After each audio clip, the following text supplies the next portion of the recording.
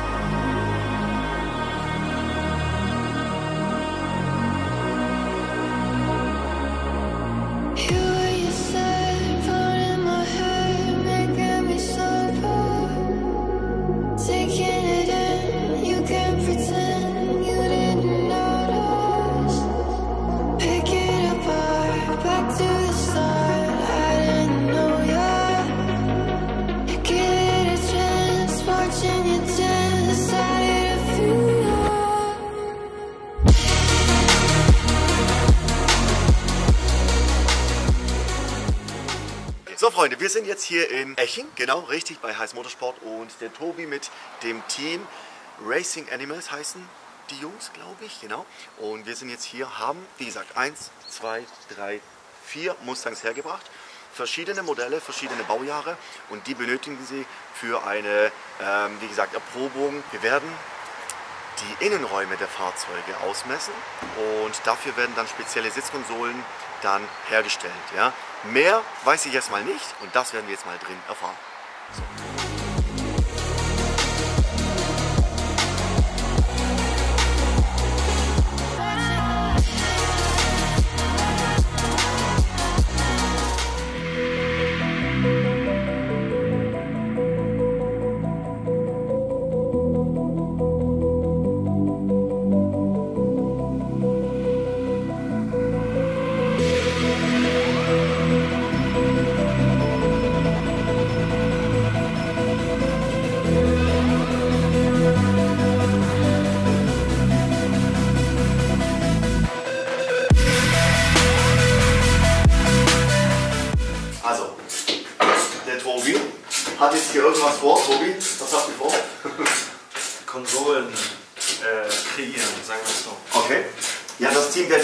gleich kennenlernen. Ähm, und ihr baut jetzt den Sitz auf für, baut jetzt die, die, die Schiene und nein, nee, gibt es ja keine, ne? Nee, wir lasern jetzt einmal den Sitz von unten, damit wir wissen, wie der Sitz aufgebaut ist. Okay. Um dann dafür eine passende Konsole zu bauen. Nicht nur für diesen Sitz oder? Nee, generell. Okay. Für verschiedene Recaro-Sitze, um Ja. ähm, ja, die Dinger halt, die Sitze in hoffentlich viele Mustangs bauen zu können. Ja. Nachdem es leider vom Hersteller nichts gibt. Deswegen haben wir die Jungs von Animal Racing da, Sehr gut. Ja. die das lasern Mhm. und dann die Maße haben und dann konstruieren werden. Dann gehen wir mal mit, würde ich sagen.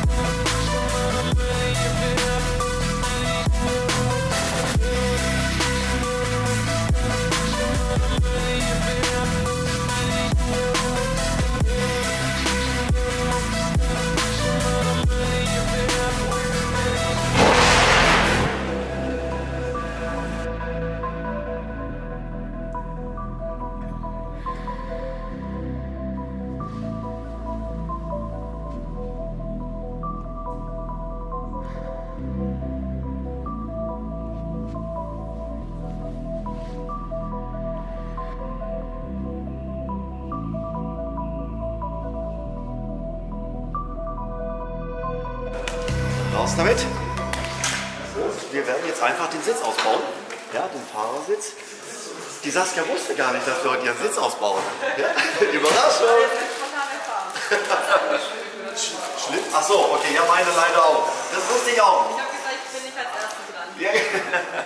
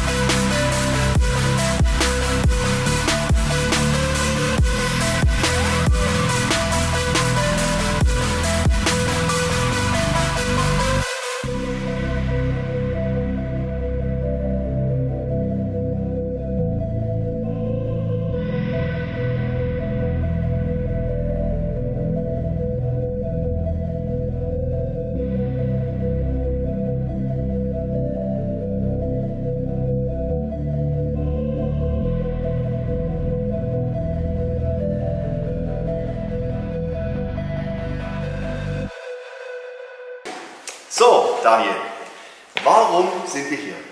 Äh, für die perfekte Sitzposition. Okay, gut. Ein Sitz ist ja schon ein- ausgebaut. Ja. Und zwar der Fahrersitz. Ihr benötigt ja auch nicht beide. Also wir müssen nicht beide Sitze rausmachen, sondern nur einen. Korrekt. So. Und ihr benötigt jetzt quasi den Innenraum ja, von den verschiedenen Mustang-Modellen. Wir haben jetzt mal den 17er hier. Und was passiert jetzt dann im Innenraum? Also nachdem wir den Sitz äh, ausgebaut haben, gehen wir hin und sprühen das mit so einem speziellen äh, Kontrastmittel ein. Das nennt sich ASAP. Das ist ein selbstverflüchtigendes äh, Spray. Damit kriegen wir einfach bessere Messergebnisse und bessere Sichtbarkeit für den Laser-Lichtstreifenscanner. Okay, so wie hier in dem Fall. Ne? Genau, hier kann man schon ganz gut sehen. Ja. Du hast hier das Kontrastmittel. Dann nutzen wir so äh, Marker und Tracking Points, Ja. um einfach ähm, eine höhere Messgenauigkeit zu haben. Okay, werden die aufgeklebt? Ja. Ah, okay. Da ist ein ähm, reflektierendes, ähm, also eine reflektierende Oberfläche, Ja.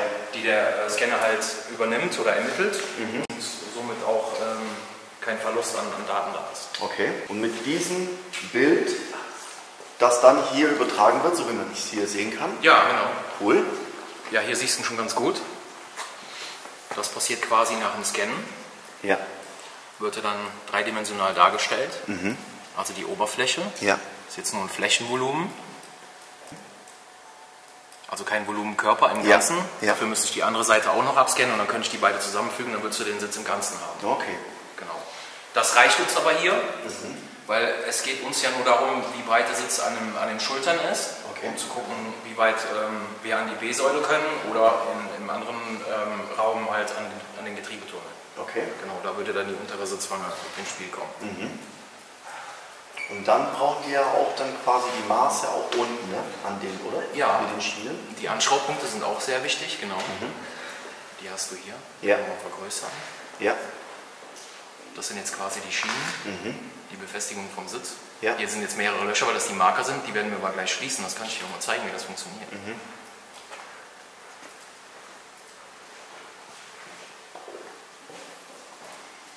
So, na.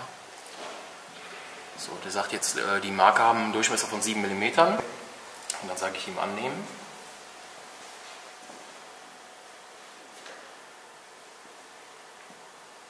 Und zack, Ja. ist das Ja. Ganze geschlossen, dann hast du diese Löcher Krass. nicht mehr. Aber trotzdem haben wir unsere Anschraubpunkte. Ah, ja. Ne? Und von der Basis aus können wir halt mit dem Sitz ähm, auf unserer Konsole simulieren, in welche Stellung wir müssen, damit du halt mittig und so tief wie möglich sitzt. Ja. Genau, das ist das Wichtigste an jeder Sache. Dazu brauchst du natürlich dann auch quasi verschiedene Modelle, weil wir wollen ja nicht nur 15 bis 17 das Core-Facelift-Modell quasi ausmessen, sondern wir werden ja heute dann, deswegen sind wir mit ein paar Leuten da, ja, ähm, dann quasi so das 05 bis 09er Modell, 10 bis 14, 15, 17 und 18, 21. So. Haben die alle unterschiedliche Bodengruppen? Tatsächlich? Ja. Wahnsinn. Ja. Man muss sagen, sich echt Mühe gemacht. Bin mal gespannt, ob wirklich 15 bis 17 und 18 bis 21 unterschiedlich ist. Vermute schon, ne? Ich denke auch, ja. Und ich vermute ganz stark, dass die unterschiedlich sind, ne? Weil, Ich denke schon, dass die unterschiedlich sind.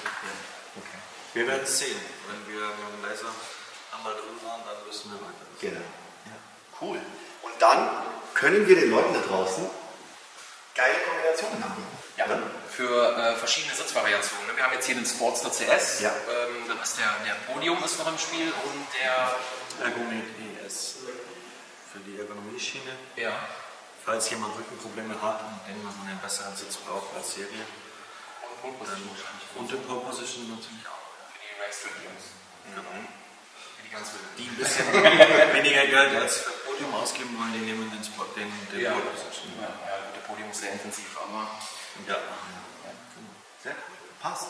Dann werden wir eure Arbeit hier so ein bisschen noch mit begleiten. Sehr ja? gerne. Der Luca wird es dann machen und dann ja, werden wir wahrscheinlich noch einen Teil 2 drehen, denn das Endergebnis wollen wir natürlich auch vorstellen. ja, sehr gerne. Jetzt werden wir erstmal den Innenraum einsprühen, Ja. mit Markern ausstatten, ähm, komplett abscannen und dann kannst du das gleich nochmal sehen.